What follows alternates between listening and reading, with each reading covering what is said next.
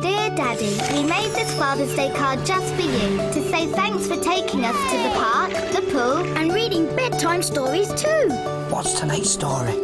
Let's take a look. We want you to know we think you're really the best. Today is a special day where you'll be the guest. We'd like you to join us and our Nick Jr. friends To celebrate Father's Day where the fun never ends. Celebrate Father's Day with Nick Jr. in half an hour and go to nickjr.co.uk to make your own Father's Day card. Happy Father's!